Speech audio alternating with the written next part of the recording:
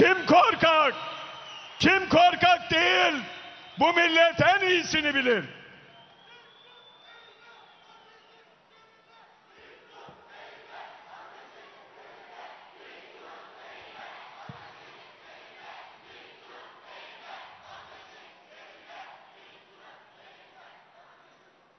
Efendim, Afrin operasyonu devletin operasyonuymuş.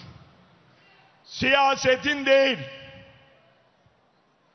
Allah akıl fikir versin. Bu yaşa gelmiş devlet nedir, siyaset nedir farkında değil. Ana muhalefet partisi genel başkanı. Devlet ne kardeşim? Devlet soyut bir kavram.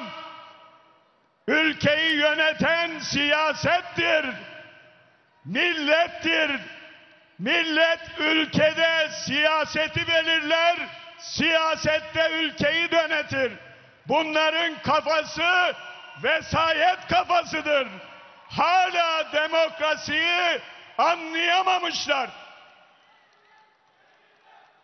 Afrin'i siyaset konuşmayacak da balinaların, yunusların, sadece kaplumbağaların geleceğini mi konuşacağız?